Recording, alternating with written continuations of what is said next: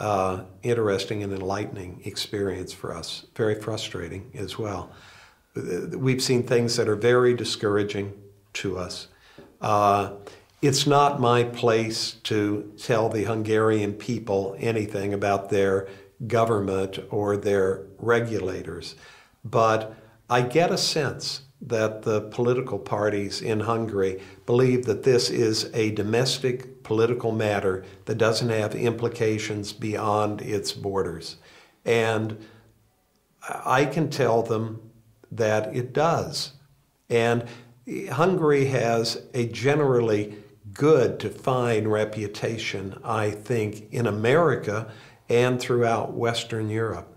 And this sort of chicanery doesn't help that, particularly when we are so interconnected. All of us, all the nations of the world are interconnected economically. We, you know, I think about the IMF loan of 25 billion uh, uh, earlier this year. I think about the inflow of foreign direct investment. That's the bad.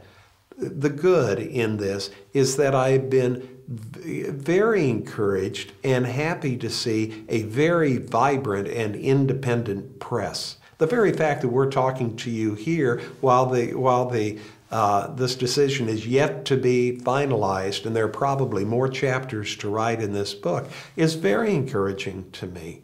That the people and the press of Hungary are, are on to what, whatever's happening. Very informed and very interested people and press. That's a very good thing for the